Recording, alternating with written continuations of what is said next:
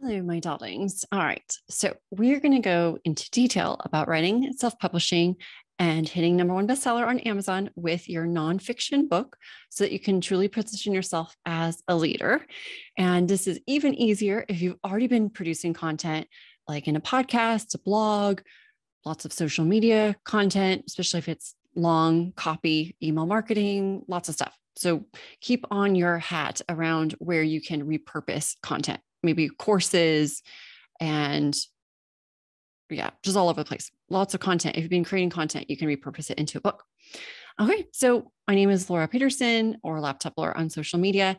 And just a little heads up there's no call to action on this. I'm not selling you anything, it's just pure content.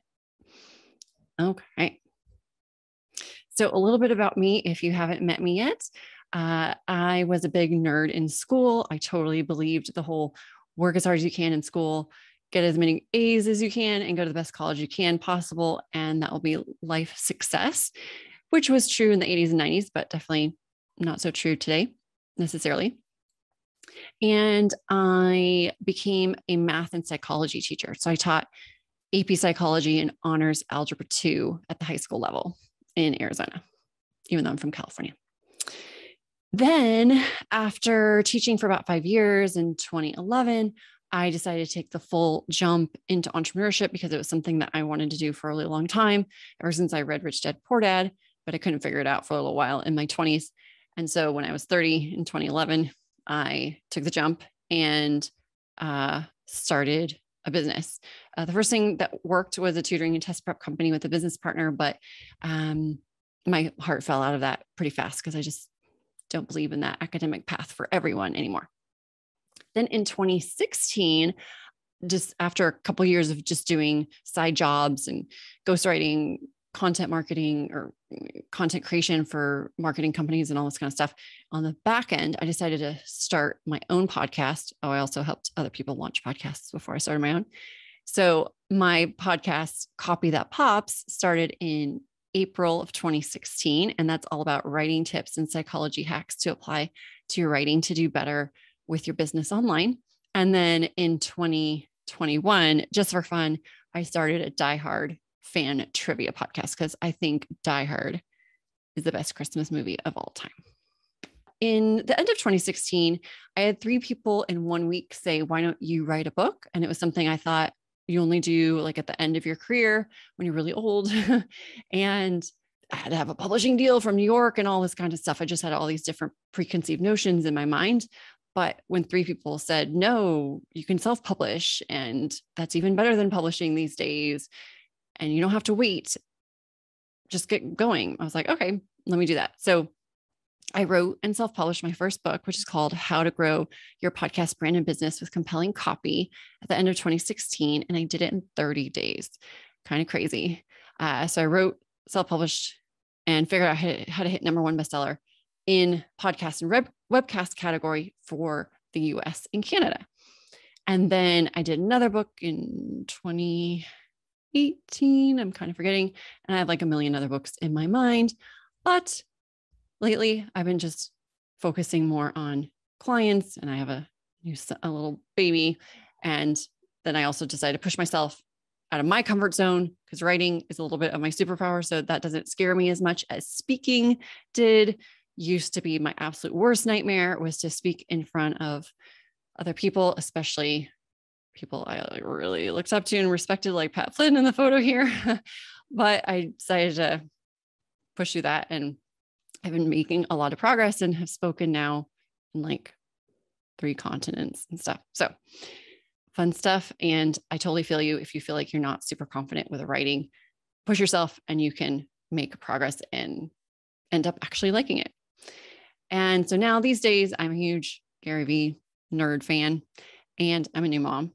So, yeah, I can pretty much tell you all of Gary Vee's life story and was able to be on Tea with Gary Vee with him, which was really cool in 2020, I think that was. And in his honor, that's why this presentation, no calls to action, just going to give you content that's really valuable, trying to give all my give away all my best stuff for free.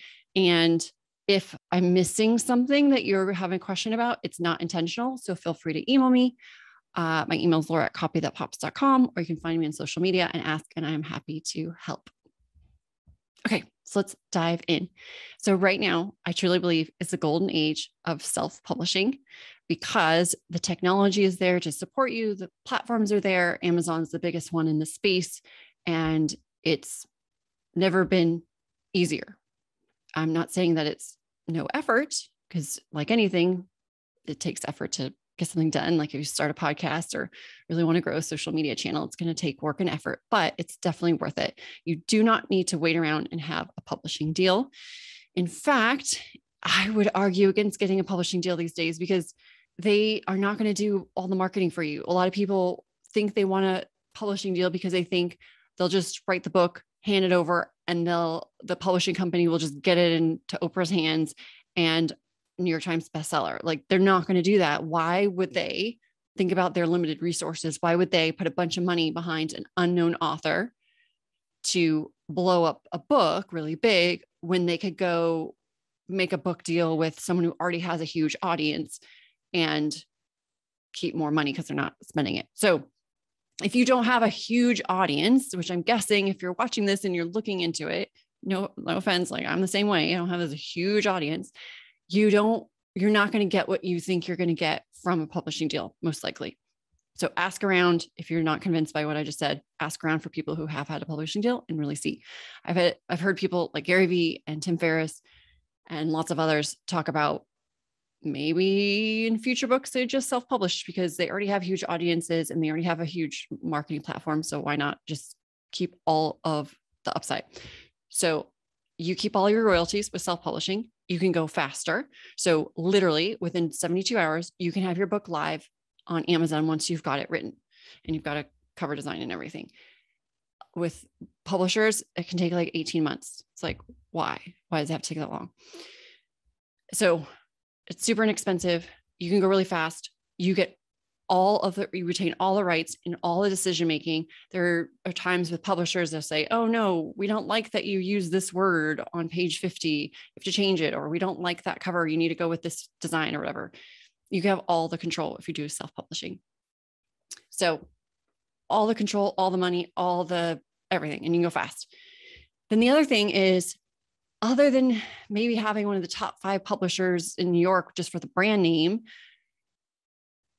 what is the point of going with a publisher um, in terms of what you're going to get out of it? Because a book instantly raises your credibility. You can raise your prices, you can get more clients, you can give it away for free. Oh, we're going to talk about a lot of things you can do with a book, but you can do all that even if it's self-published. There's there isn't the taboo anymore of self-publishing means crap, especially if it looks great, if you have a good cover, if you've done formatting and editing on the inside, you you don't need it. So I just really challenge you to to rethink maybe preconceived notions about what it was in the past.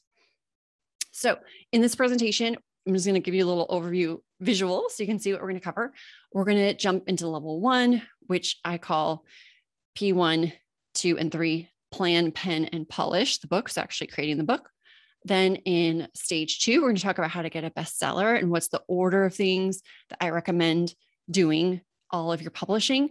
So P4 is I recommend doing a publishing of just the Kindle version on Amazon first and get that proof of bestseller. So P5 is its own section because it's really fun to get it ranking number one in lots of categories. And then I recommend doing print and audiobook if you decide to, optional after the Kindle. So we'll get into that more, but that's why I break it out into this little stages. And then level three, the benefits, you actually will start getting all of these benefits even while you're writing the book. If you do what I recommend in P5, I have this little formula called track formula. We're going to talk about A, attraction based marketing, which includes sharing your journey throughout the process. Like Gary Vee talks about document, don't create. I really recommend to document your journey and just share the book writing process as you go. And you're going to start getting the benefits down in the level three. So I've had clients in the past that share they're writing a book, and within weeks, people start reaching out to them and inviting them to go speak on their stage at an event just because they saw that they were taking action and, and trying to become an author. So, some benefits increased confidence that definitely worked for me. Because once I wrote out my book, I was like, oh, I actually know a lot of stuff. More clarity. Again, if you write it all out, you're going to just see everything you know and everything you talk about most likely with clients and with in your podcast and your content you're going to see in a really clear organized way and you get more clarity overall around what you know. You can raise your prices you get instant credibility make an impact leave a legacy. We're going to talk about that more in p1 but like why are you doing all this stuff? Why not put it into book form? Because book is historically has been something really difficult to do because of all the gatekeepers. So it has a lot of um, just inherent juice and power and esteem wrapped around it. So it's going to be, you know, helping people. And then also, gosh, imagine like your great great grandchildren being able to read what you wrote now, even if it's about like a business topic. That'd be so cool. I wish I could read my great great grandmother's writing about whatever she was up to in Italy or whatever. That'd be so cool new partnerships and brand awareness. So keep in mind too that other people who put on events, oh, and that also P7 public speaking, podcast public speaking and PR and media. Those are kind of like the core ones. And then the other ones are kind of ancillary that all come together. But just remember that people who are hosting podcasts, who want to book speakers, who want to put you on TV or in articles and stuff, they want to look credible. And so, in order for them to look credible, their guest or the person they bring on needs to look credible. And having a book is just a key component to getting that done. Okay. So, you might be like really excited, let's go. I want to dive in. But in the back of your mind, you might have imposter syndrome monster screaming at you things like, yeah, but you're not expert enough to write a book. Who are you to call yourself an author? Trust me, I've felt that, especially like around speaking, because that's where my comfort zone starts getting really pushed historically. But who is expert enough to do anything? If you're already talking about this stuff, I'm not saying to pretend and try to put yourself out there as something you're not, but if you already have a business around this, if you already have a brand around it, you're already talking about this all the time. How are you expert enough to share it in blogs and podcasts, social media, but not to put it in a book form? Like that just doesn't make any sense to me. So put that out of your mind. That's just the imposter syndrome monster screaming in your ear. No one will buy your book. Oh, so embarrassing.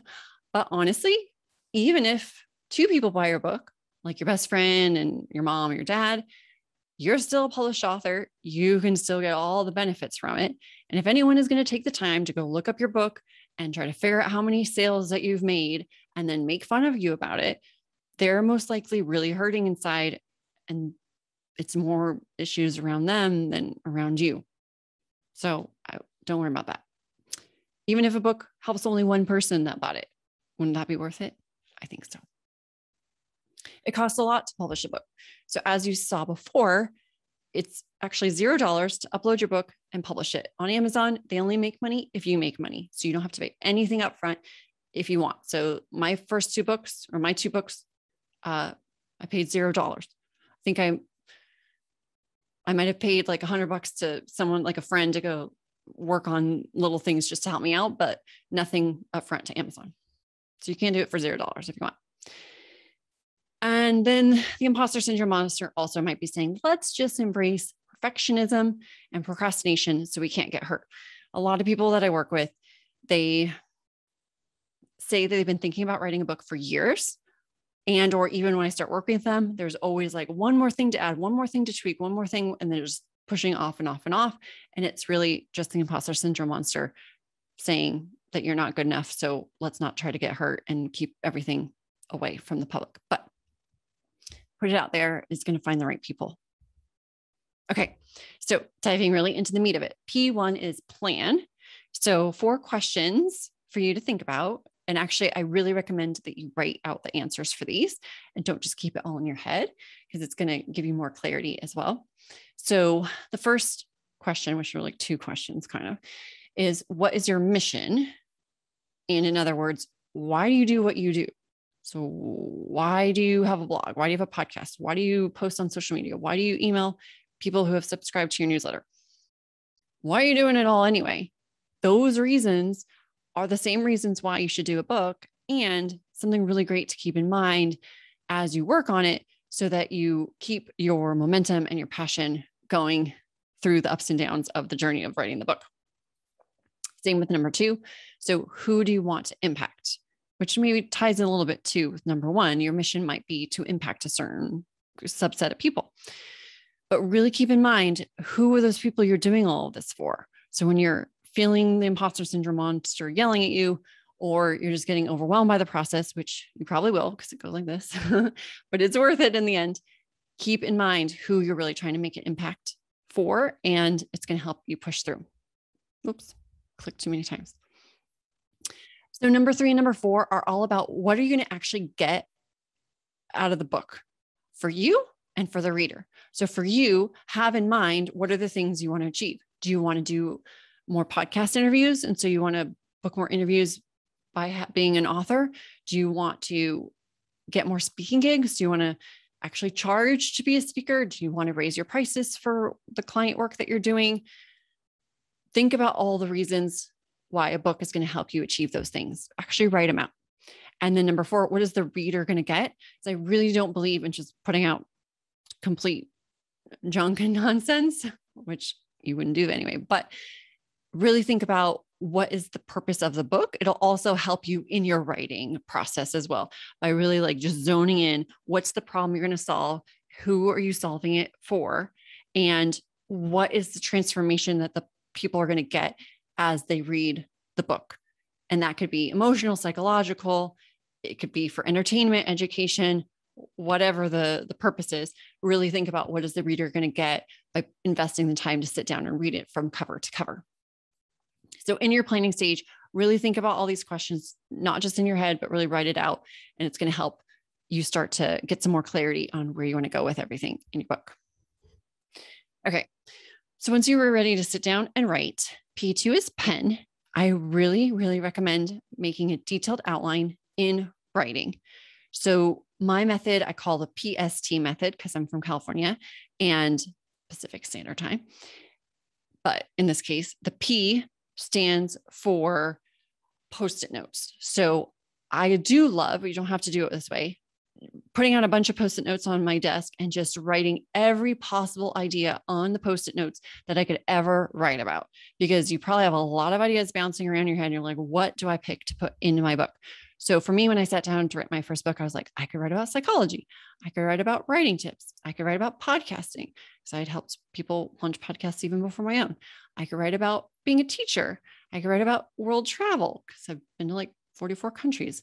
I could talk about a lot of things because we're all multifaceted people these days.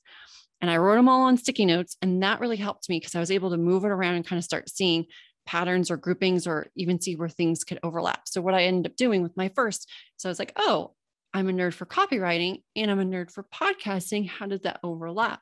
So I wrote a book for copywriting to help podcasters specifically. Something that I just figured out from the combination of writing out all my ideas on post-it notes. So in that first step for P, just get everything out of your brain. Don't edit it. Just let it all come on out. Then for step two, for the S, I call it the spiderweb mind map. So what I like to do is pick one topic maybe two where they overlap, kind of like how I had it, and say, okay, all these other sticky notes are amazing. So writing about world travel is amazing, but it's not going to be in this particular book. I can write it in a future book. So I put all the other sticky notes off to the side and say, these are future ideas I can do later. But right now, what am I going to work on? So I took copywriting and I took podcasting and I put it in the middle.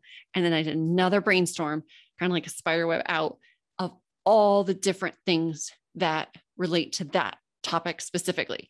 So, show notes, episode description, title of the podcast, subtitle of the podcast, the bio of my podcast authorship person persona, content for social media. There's a million different things from in there. And so in my spiderweb mind map, I brainstorm just on the core topic of what my book is going to be. Then, once I've done that, T timeline is my T in the PST method. So, what I thought about there is like, okay, now I've got all these amazing topics and subtopics, but in what order is it logically going to make sense to teach my reader in the book? So I need to go from one chapter to the next. It can't just be like a big blob of, of ideas. Although actually that might be kind of a cool, unique, artsy kind of way to present a book. But I thought, okay, what is the logical order that people can learn this topic? So I was like, well, let's start with the podcast show name and the show subtitle, and then the episode titles, and then the episode description. So I kind of try to make it in a logical order that someone might think it through. Put that in order that T, that timeline becomes your detailed outline for your book. Now you can literally sit down and when you're ready to write it, you can jump around and go into any chapter and even write things out of order because you already have a full vision, a full roadmap, roadmap of where you're going with your book. And then my tip two in here, or my step two, is to think about what content you can repurpose if possible. So you might have done a great podcast episode on a topic that would fit perfectly in chapter four.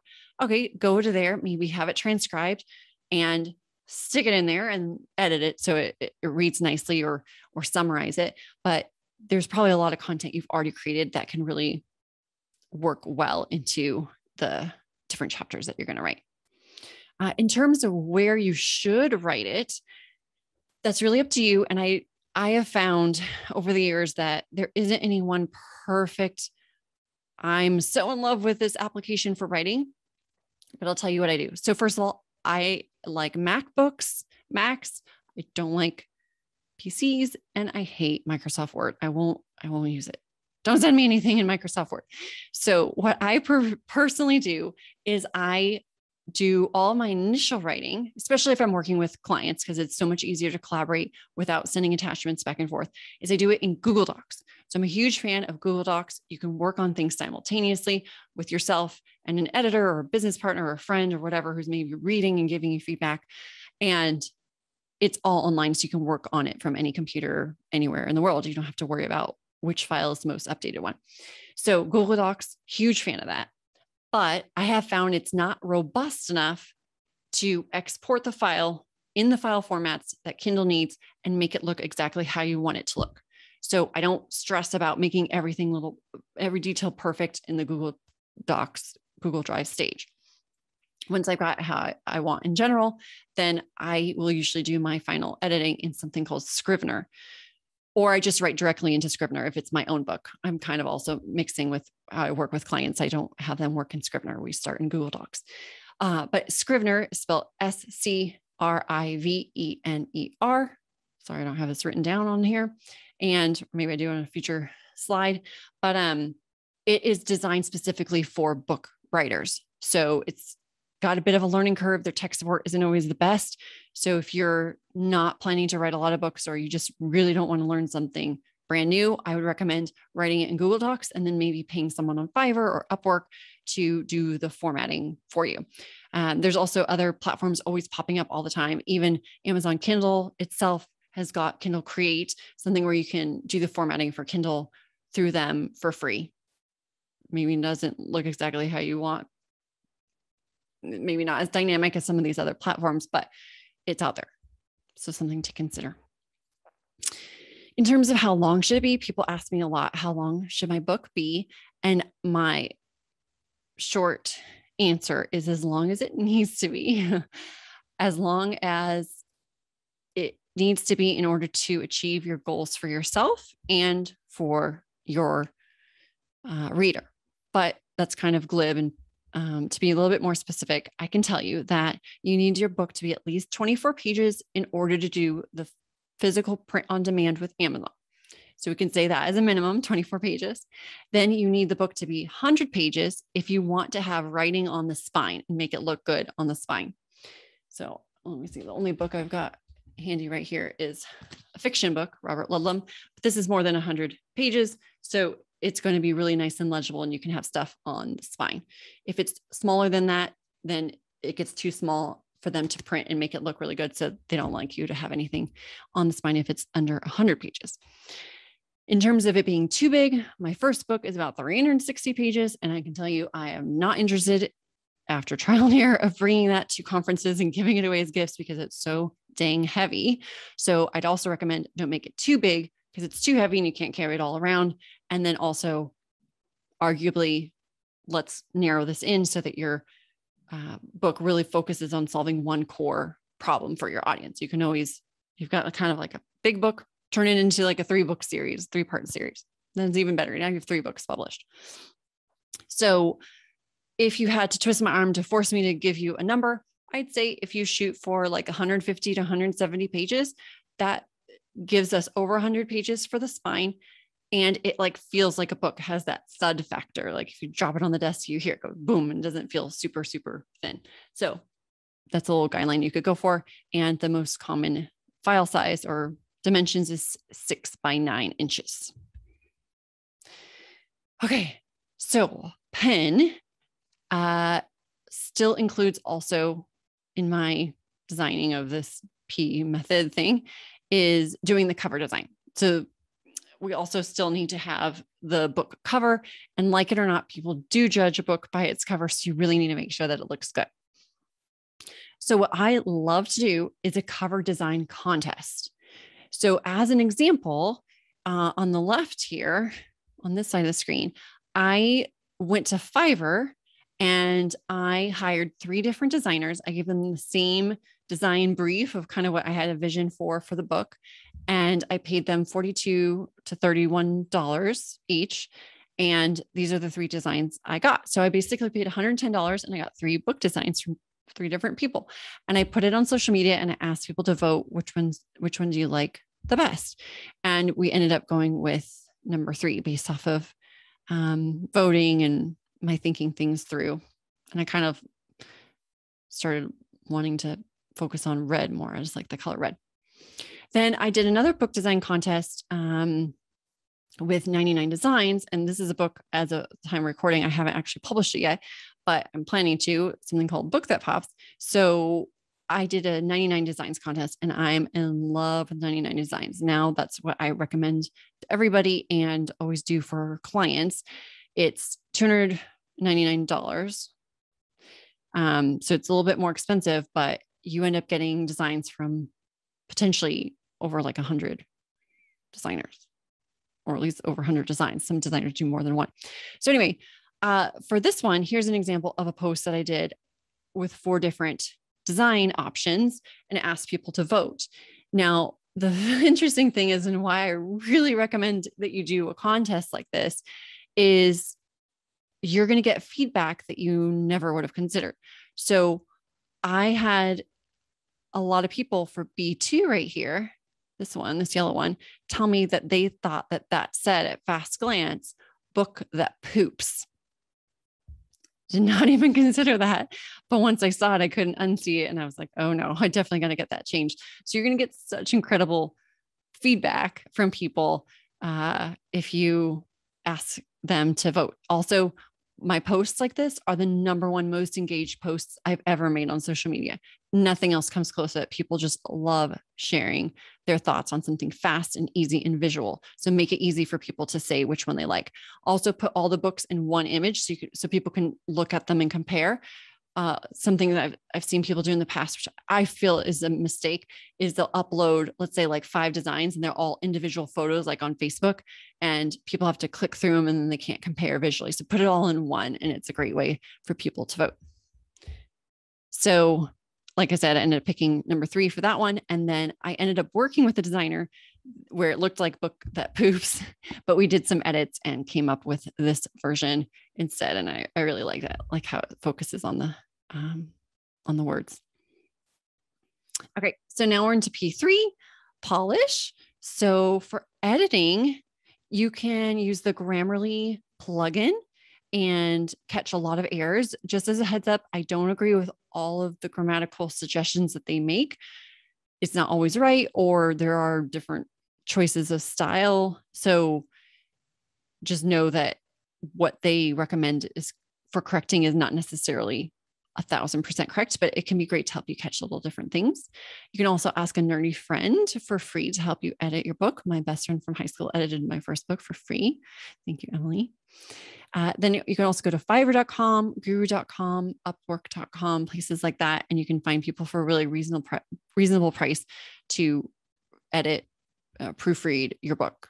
And you can go from just proofreading, trying to catch little errors, all the way up to developmental editing where people are actually saying, okay, this paragraph doesn't make sense. Let's put it in chapter five and move things all around. So the price is going to depend also on, on how much help you need for the editing part.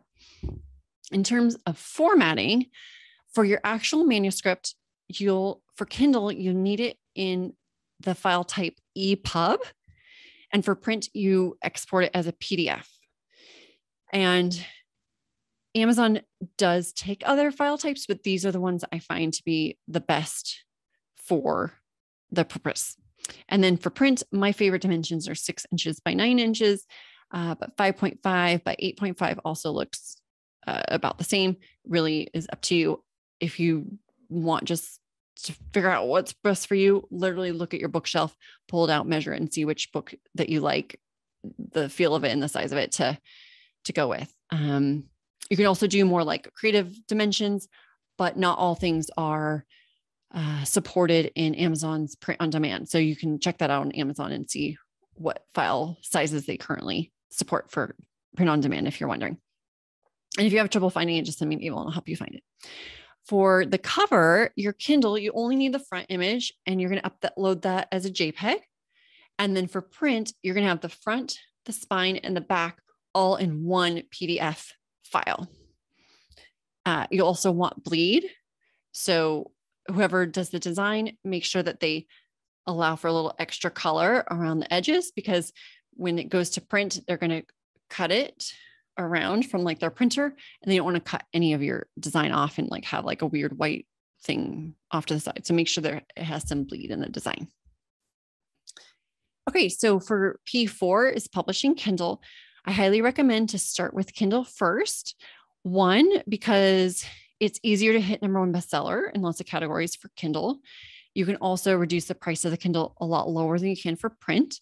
And it's also a good idea to just give people one thing to decide when they go to Amazon. You don't want them to be like, should I get the hardcover or the paperback or the audio or the Kindle? The more choices they have, the more like they're going to get distracted and go do something else. So just give them one choice. I recommend Kindle. So go to kdp.amazon.com right here, this website, and it looks like this. And if you don't have an account yet, you can just sign up for one and you'll just use or hit sign in. You'll use the same login and password you already have for your main Amazon account if you already have a main Amazon account. It's free to start this, so go for it. Once you're inside, you'll see something like this. So, bookshelf is where it's going to list all your books. This page that you see is the bookshelf. Your books will be under that when you scroll. Once you've got books published, reports will give you some data about how many people have bought which books and from which countries. Uh, those are the main two sections you'll spend most of your time. For creating a new book, it's literally right here. When you log in on the bookshelf, you just hit this button for start a Kindle book, start a paperback, and brand new as of the end of 2021 is hardcover. You used to have to go through a third party in order to do that, but Amazon's starting to support that. So that's really exciting. Then for Kindle, since we're on that step, if you hit plus, let's publish a Kindle, you're going to see three tabs of information that you have to put in in order to make your book live and get it live on Amazon. So in the first tab, it's going to be the main core content, um, like description stuff of your book. So the title, your author name, the description of your book that's going to show up on your product page, the categories that you'll pick, but we're going to get into more on that because if you just go with Amazon stuff, you're going to miss out on huge opportunities. But that's where you're going to pick your categories, at least for step one. Um, yeah. so this is just like the basic overall book details about your book. Oops. I thought I clicked and it would show more, but no. So on the second tab, if you clicked on that, it would show you a little bit something different. That's where you actually upload your files. So you upload your manuscript doc, um, doc if, if for for this it'd be an EPUB type file, and then also your image for the front JPEG version of your book cover. And then on the third tab is where you set the pricing. You can have different prices for different countries. And Amazon has its own URL unique Amazon um, front page for like 10 ish different countries Mexico, Canada, UK, Australia, Japan, Brazil. Maybe there's more than that. Oh, my little monkey got back from the park. So that is an overview of publishing for Kindle. And then once you've got all of your information filled out on these three tabs, you just hit publish and within 72 hours it will be live on Amazon. It usually happens faster. Every once in a while if Amazon's really behind on things, it could take longer, but that's a really good guideline about 72 hours and it's completely free. They don't make money unless you do. Okay, so once your book is live, it'll look something like this. So this is back on the bookshelf. If you scroll down, you'll see your books. And if you hover over view on Amazon, you can open up these links out to the different countries where you can find your book in those specific countries as well. And then these little three dots, when you click on that, uh, well, this is later for the print book, but uh, once you have the print book up, you can from there order proof copies. So you can get a proof copy in the mail before it's live and actually hold it in your hand and see if it looks right. Or you can also order author copies where you can just purchase copies of your book for the print cost um, plus shipping. So you don't have to pay the retail cost, which is really cool. So let's get into the bestseller stuff, which is really fun. What I'm going to teach you is about how to hit number one in lots of subcategories. So, not necessarily number one of all of Amazon, uh, unless you have a really big audience, then you could do it. But most people I work with don't have ginormous audiences or huge, huge marketing budgets, but they can still hit number one in really relevant categories. And you can actually do it in up to 10 categories. Plus, if you do really well, you can start hitting number one in the parent categories where it gets more and more competitive. So I've had clients who hit number one in like 16 categories on their launch day, which is really, really fun. All right. So the first thing is that you need to know is the one hour rule. So unlike things like New York Times bestseller, Wall Street Journal bestseller, Amazon doesn't have to sit around and wait for book retailers to send them data about sell sales at local retail shops. They've got all the information right there online. And so they actually update their rankings every hour, not perfectly on the hour. Sometimes it takes, there's a little bit of a lag, but overall, it's about every hour they are updating who's number one, who's number two, and, and beyond. So they want to give the most relevant information to their users as possible. So they keep it really updated and fresh. And the number one thing that they count for bestseller is number of sales. So, in short, if you can drive a lot of sales into a short period of time frame, you can hit number one really quickly in categories, especially those that aren't as competitive as others. So, we're going to talk about that a little bit more as we go through this track formula. This is my little fun way of breaking down the process of getting number one bestseller in lots of categories and make it kind of easy to wrap your head around. So the T stands for timing and pricing strategy. So I really recommend that you launch your book on a Tuesday, Wednesday, or Thursday. Monday, you could also as well. It's not my favorite, but you could. And that's just because there's going to be most people online paying attention that you can ask to go and buy your book. Don't do a Friday or a weekend because people are going to be checked out it's in the summer, they're going to be heading to the beach, you know, driving to visit family. On that note, don't do it on or too close to big holidays.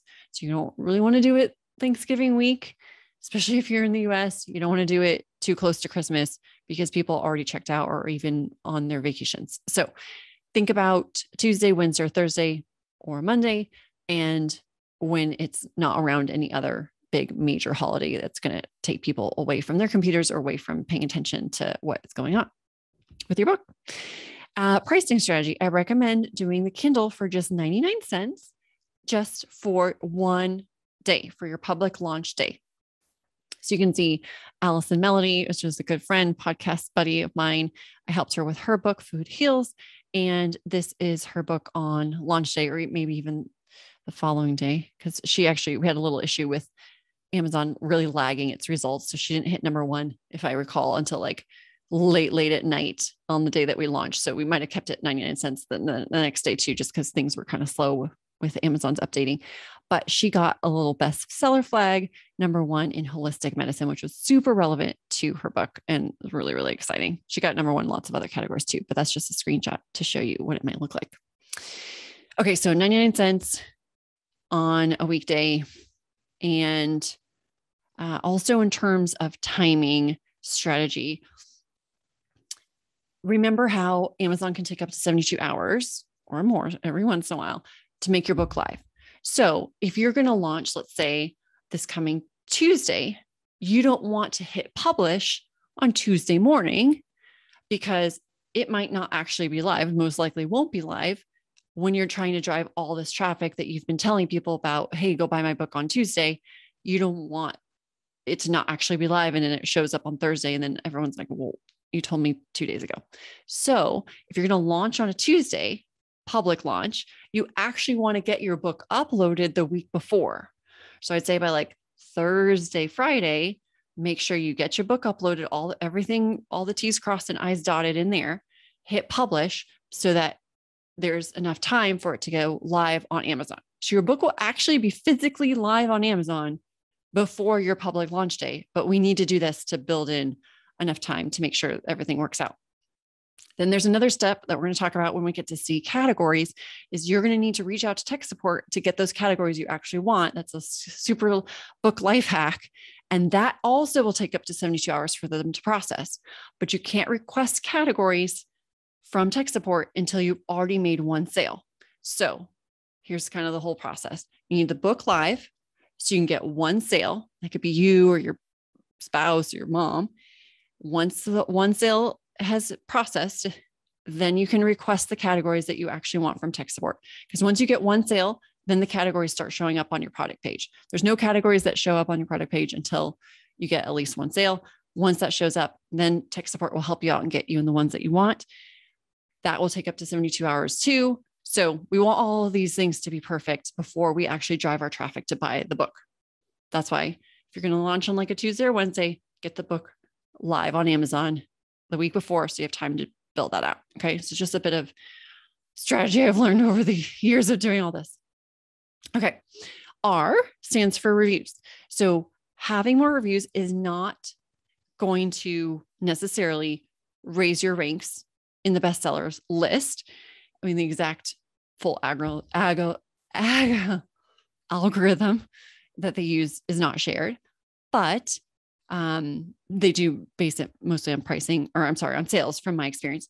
But reviews will still help you because as you have more reviews, that's going to be more social proof. So more people are going to be likely to buy your book if they see that other people have reviewed it and liked it as well. This goes for complete strangers that are going to start seeing your book. As you start rising in the rankings, you're going to start seeing getting more organic traffic to people who have never heard of you before. So it's going to make a big impact with them, but it actually makes a big impact too with your friends and family who sometimes it's like twisting people's arms to get them to go and do anything to help you out. But if they see a lot of reviews, they're going to be like, damn, okay, like she's working it. I'm going to support her.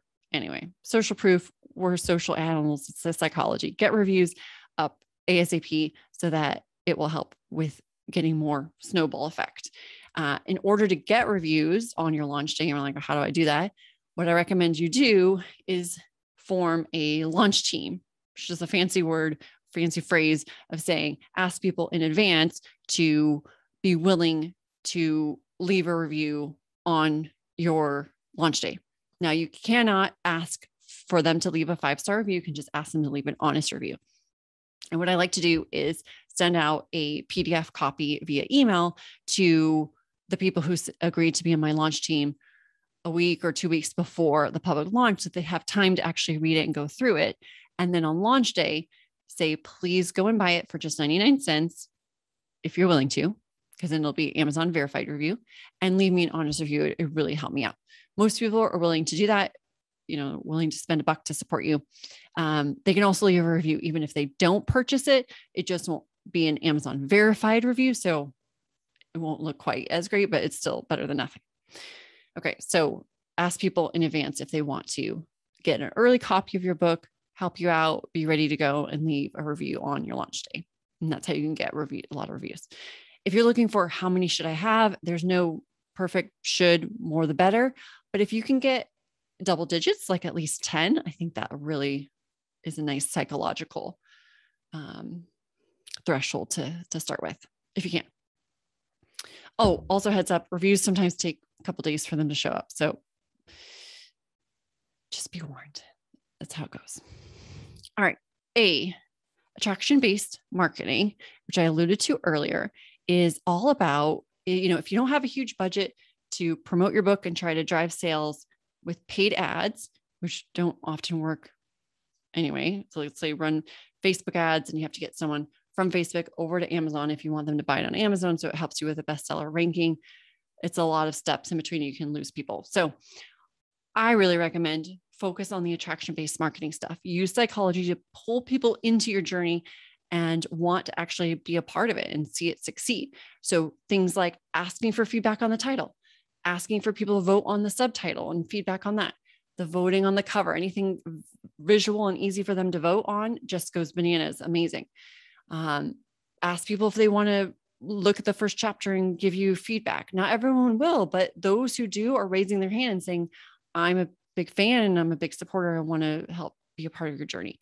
So, lots of things to pull people into the journey instead of like, hey, go buy my book. I just popped out of this cave and now I've got a book, go support me. No one's interested in that.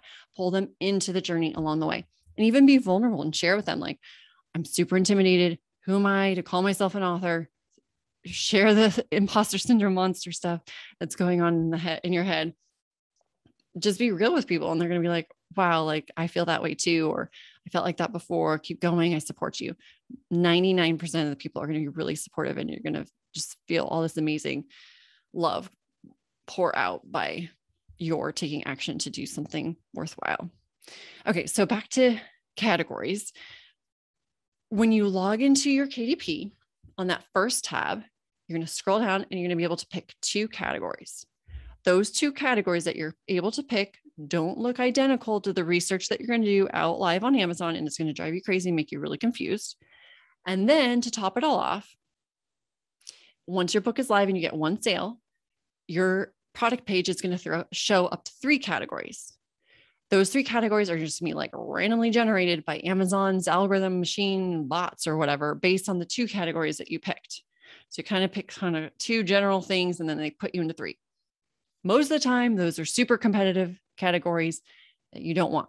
So most authors just do that and say, oh, well, it is what it is. I'm going up against Oprah. I'll never hit number one. But what we know is, and you know now, is you can actually scour through Amazon, all its categories, and look through all the little branches. And I'll show you an example in a minute. Find up to 10 Kindle categories that you want. And then as soon as your book is live and showing the, the categories on your product page, because you got one sale, you can send a note to tech support with the exact 10 categories you want and say, put me in those. And you can get them on the phone and make sure they put you in the 10 that you want. I recommend doing both. I like to send it in via the, they have like a little email send out thing in their, um, like click the contact tech support, whatever, send it in and then wait a few hours or overnight or whatever, and then call them and say, Hey, did you get this? I want you to make sure you push it through and double check with them. Uh, if someone doesn't understand or isn't very helpful, hang up, call back, and get someone else who will. Because I've had people who have no idea what's going on with the Kindle categories for tech support, but you can't absolutely do it. I do it every time for my clients and for my books. Okay. Uh, keywords. Uh, those are also, you can pick up to seven on that first tab of the information. So uh, you do some research in Google with their free keywords tool to get some ideas on what's trending around your topic. Um, there's also some plugins and, and and apps and things that can help you with specifically with Amazon. I'm going to tell you about two of them. I think on the next slide. Okay, maybe not on this slide. So hold on, I'll, I'll get there. Uh, but just as a little overall best advice, remember to do 99 cents with just the Kindle only. Because, like with your print book, you're not going to be able to, let's say your book is 150 pages, you're not going to be able to price that lower than, like, let's say eight or nine dollars to cover printing costs, Amazon's royalties. So, it's going to be just a harder ask. Be like, hey, grandma, will you go buy this $10 book that's about something you're not really caring about? She's probably really, I don't really want this in my house. And it's like killing trees but I'm willing to support you for a dollar and just go get the Kindle version to help you with bestseller. You're going to do one big push for sales, but remember to share the journey from the get go. Research 10 Kindle categories And the way to find, oh, that's what I didn't tell you yet, is the way to find great categories is you want to find subcategories where the book currently, and you do this research the week before your launch, not like five months before, because remember, this is changing all the time. So around that weekend before your launch, you could even do it. Is you want to find categories where the current book that's in the number one position in that subcategory is about 20,000 or higher overall in all of Kindle. That is an indication that that subcategory is not super competitive. I'm going to show you an example on a future slide. Let me see. Okay, cool. So, as an example, when I did this, built out this little presentation, the number one book in podcasting and webcasting was this book called Stop Asking Questions. So, what I did is I you literally look through all of these categories over here, all these little sub ones, like go to Kindle ebooks, open it up, and just like go on a scavenger hunt down in all these little subcategories and find the ones that are relevant to your book. So, my first book, it would have been relevant for podcasting and webcasting. So, I click on that and I'd see what's the number one book. And then I click on this book and look at its product page. And when you scroll down, it shows you product details and it'll show you that the book is currently number one in podcasting and webcasting, podcasts and webcasts. And overall, it's around 17,000 in all of Kindle. So this is a pretty good one.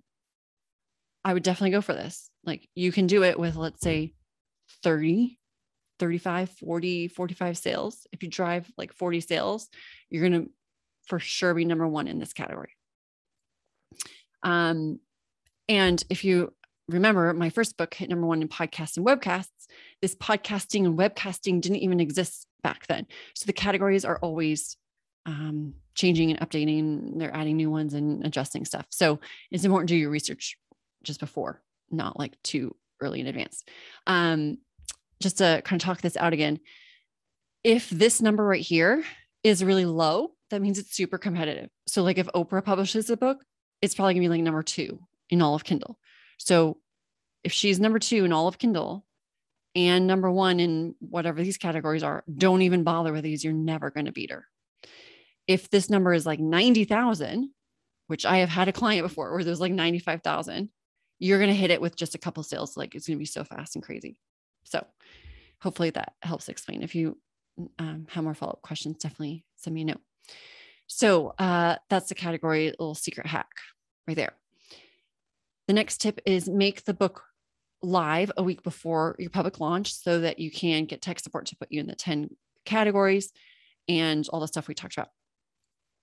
Then also on your launch date, be ready to grab screenshots of your number ones in all the subcategories and parent categories. Check the other countries, look out for the flag. It's historically for my clients, it's been faster to get a number one new release flag and to rank number one in the new release categories. Um, but it doesn't always come with that little bestseller flag like you saw with Allison's book. But look out for it. Take screenshot. You're not going to get an email for Amazon saying congrats. You're not going to get a little plaque in the mail. Nothing. You got to take screenshots for your own proof. Okay, so just to give you a little bit more encouragement, like this is not just crazy nerdy Laura Peterson doing this. Um, I wanted to share two quick stories just about um, or examples of Tamina Watson and Laura Powers. And so they were in a group program that I ran um, where we did, we had like a group of like oh, 20 authors or so, new authors, and we did the whole process in like 10 to 14 weeks. I don't know. I can't remember. I've done a lot of different like variations of that. But Tamina did her book design contest with 99designs and just came out looking amazing. So this is her book, and she definitely hit number one in lots of categories. And then Laura Powers, I don't think she did her book. I can't remember how she did the book design. She might have done it herself or maybe from her friend, but she absolutely hit number one podcasting and webcasting, which is super relevant to her book by just following the steps that I just showed you guys. So definitely, definitely possible. You can do it too. Okay, here are some helpful tools that I alluded to a moment ago. KDSpy is $59 one time. And this is my affiliate link if you want to use it. If you don't, you can go Google KDSpy and find that, or it might just be kdspy.com. I'm not sure. And Publisher Rocket, which is $97 one time. I have both of these and I really recommend them. They just help you figure out more detailed information specifically from Amazon around keywords, categories, what books are currently doing well, what are like trending words that are appearing in titles of books that are in the top 10, top 20 books. So just extra tools of the trade if you want to go even more in depth and get more insights for your own book as well. P6 for print and audio. I recommend taking a couple week break after you do your Kindle book and then do the print, so paperback. And I recommend a little break because the file format for your print is going to be different than Kindle. With Kindle, your book is not going to have set page numbers. It's not going to have a running header, none of that kind of traditional stuff that you see inside of a book. Because, like, this book ends right here with this word on this page, but it's not going to show up like that on every single person's Kindle device. So the Kindle file is going to actually just adjust and flow depending on the screen size of the person reading the book. So the formatting is going to be different from Kindle versus paperback. So to not overwhelm yourself, I recommend just really focus on the Kindle, get that live, get the bestseller, have fun, and then take a breather and make sure everything's perfect and ready to go for your paperback.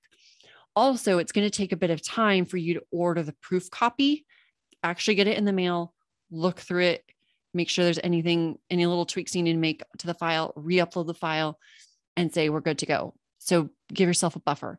You can't do Amazon Prime and get your book in like the same day or the next day. It's it takes like five to seven to 10 days sometimes for you to actually have it printed and sent to you. So be forewarned, you're just going to build a little bit of time. Plus, give your audience, you know, a couple week break from hearing about promotions and stuff, and they'll be more excited to hear you do another big push if you want to do another marketing push for your paperback. Hardcover, I've never full disclosure done it through KDP, but it's now in beta mode and you're able to start doing that. So check that out. That's really cool if you want to. And then the audiobook, if you want to do audiobook, you go through acx.com. That's where that's the main site for processing everything, uploading your files. You can um, also get someone to do voiceover for it by either paying them up front or agreeing to a royalty split on your audiobook sales. And exactly how to do everything is all through ACX. So I'm not going to go into super details on it here. Go to there for the most up to date information.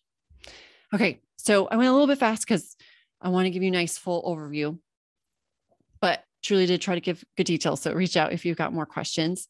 And to give you a little bit more encouragement, here's Valerie Morris. She is the one of the person I referenced earlier where a book wasn't even out yet and someone booked her for a speaking gig.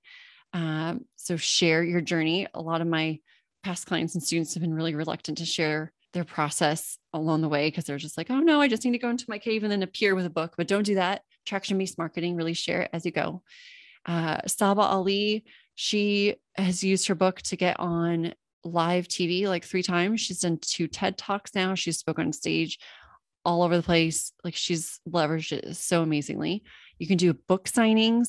So Wendy Kim Kim did one. Um, I forgot where she did it, but somewhere locally she did a book signing, and Jimmy Colson did it actually in a Barnes and Noble. So after all the COVID stuff and the world is normal again, you can do a book signing with Barnes and Noble. All you have to do is just publish your book through Barnes and Noble, their website or their e version even, and there's just a couple of steps, but you're completely able to for free do a have a booth and do a book signing inside of Barnes Noble, which is super cool. So, my last little bonus thing I want to throw out there is seven ways to sell more books because people often ask, How do I sell more books? Know, I truly believe that a, a book can help you grow your brand and business in so many ways and, and be a positive ROI in all those other ways that we've talked about. So even if you don't make a lot of sales, it's very still worth the effort. But if you want to think about how to actually make more sales and get the book in front of more people, Amazon itself, you can do ads and actually show ads to people who are already in the mindset to buy a book. You can also do something called Kindle Unlimited. So if you agree with your Kindle book to only make it the book available on Amazon, that's it. You can't sell it on your website, you can't sell it on barnesandnoble.com, you can't sell it on any of the other ones. you're allowed to then do things like a free promo for up to five days for 90 up to five days out of 90 days you can make your book free for people who have kindle unlimited you can do countdown deals where it's like 99 cents for 24 hours and 199 then 299 and it, it goes back up and um, i do usually recommend having your book at least like 299 for kindle that's where you can get a higher percentage of royalties i didn't mention that before but any price under 299 for kindle you get 35% royalty. And if it's 299 or higher, then you get 70% royalty. So for the launch, I don't care about royalties. I just want to make it easy for people to buy lots of books to get my number one bestseller. So I do 99 cents, but then afterwards I usually bump it up to at least 299 so that I get a higher royalty and it just like feels like maybe more psychologically valuable by being a higher price. You can also make money off of KENP, which stands for Kindle Edition Normalized Pages. So that's basically how many pages are people actually reading in the Kindle book, and you'll make a portion of a global fund that Amazon pools for Kindle Unlimited books. That's another way that you can make money even beyond sales. If people are actually reading your book a lot and you're in this program, you can make money just off that too. Uh, something else to check out is BookBub. So you can do ads and featured deals with them um, they're often difficult to get in, but from the and I've never done it, but from the people I've talked to who have, they say like it can just drive tons of sales. So that could be a really good one to check out and see if you can make it work. Facebook, kind of mentioned that before. You can do ads. You can also be really active in groups that are niche specific. So if you're writing a book on real estate, helping realtors, then be in real estate realtor groups. Uh, or there's also groups that are all around book promotion. So you're actually able to promote like a free book deal or 99 cent on Kindle book deal, things like that. So you can check out different groups on Facebook. That's another way to, to do it, especially like organic. Uh, number four is make your book available off Amazon if you don't want to do the Kindle Unlimited. So Barnes and Noble, Smashwords, Goodreads, iBooks, Kobo, things like that are other places just to get more distribution for your book. Number five, share value to drive interest. So TikTok and LinkedIn at the time of recording this, the end of 2021, is gives you the most organic reach. So I really recommend in those. Uh, you could also do a podcast book tour. So once your book is live, you could try to book a bunch of podcasts to share your expertise and valuable tips and tricks to the audience and mention that you've got a book and how people can find it. Um, just remember you really need to add value. If it's just promoting your book and it feels like an ad, people are just going to tune you out and not care. So make sure you're really sharing value and, and people will want to go and check out your book too. You could also even run a contest. So you could do something where like um, if people share your book post or do something with you, engaging you on social media, then they you're going to randomly pick someone to win a physical, maybe you sign a copy and send it to them. And then maybe there's like five runners up who get a KDP version because you can actually buy a KDP version and, and, email it like as a gift or just the PDF version if you don't want to send the KDP um, file type thing through Amazon.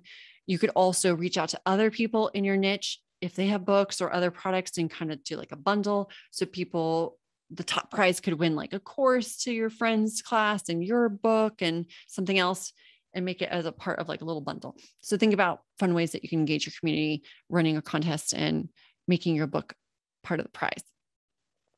Number six, uh, make it very easy to buy on your website, social media profiles, email signature, etc. So if it's only on Amazon, then make sure there's a link directly to your Amazon. If it's on your website, then make it really, really easy to find and make the purchase, especially if it's not a super high cost item. Some people who maybe aren't ready to hire you by your other products and services might be willing to spend two bucks, 10 bucks, 15 bucks, whatever the prices are for the different types of formats to learn the knowledge from you and kind of start um, testing the waters and seeing if you're going to be a good fit for them. And then a bonus fun idea to start thinking about is to make your book an NFT or to give away an NFT as a prize. Okay, so this might be like, what are you talking about? NFT stands for non fungible token. We're getting into like the crypto, Web3, blockchain world. Um, I did a podcast episode on this. It's episode 216 of my Copy That Pops show. uh, where Gary Vee sold about 1.2 million books in 24 hours because of the power of NFTs and the excitement all around that. So, anyway, that's a little cliffhanger. Go check out the podcast and check out what Gary Vee did and see if that's something that could work for you. All right, so quick little overview and final tips on how to get started.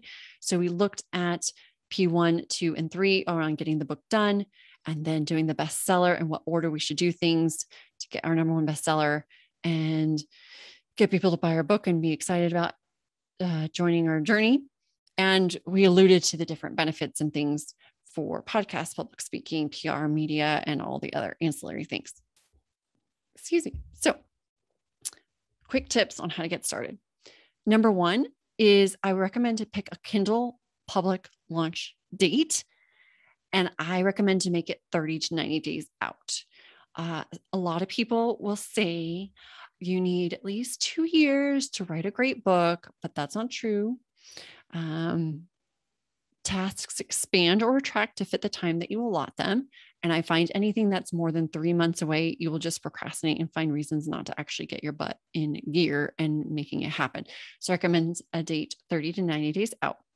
Then number two is share that date over and over and over and over and over and over on social media, on your podcast, on your blog, wherever you've got you're sharing content, because you are more likely to let your own self down, your own goals down than you are to let others down. So that public accountability is going to be like no other motivator. You're going to make it happen if you're actually sharing publicly that date. Plus, people are going to start getting excited and like see it getting closer and closer.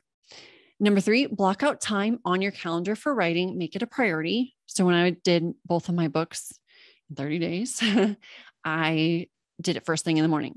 So I woke up early and I didn't open my computer, I didn't check my phone. I just sat down and worked on my book so that I had full energy and didn't let other people's fires become my priorities. I made my book my priority. So block it out on your calendar.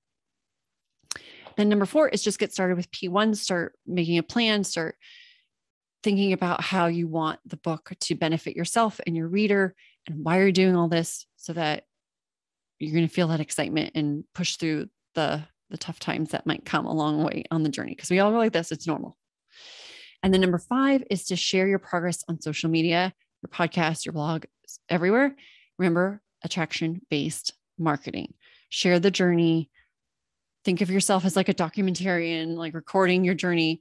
Think of how freaking cool that would be for your great great grandkids to watch the journey of you writing a book. Like for no other reason, if no one buys it, that's cool.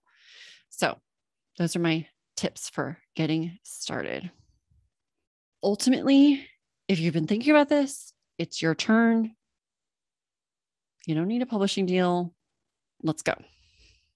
If you've got any questions, please email me, Laura at copythatpops.com, or you can find me on social media at Laptop Laura. I hope this has been really, really helpful and inspiring and just the tip of the iceberg. So get going. You can do it. And let me know when your book is live.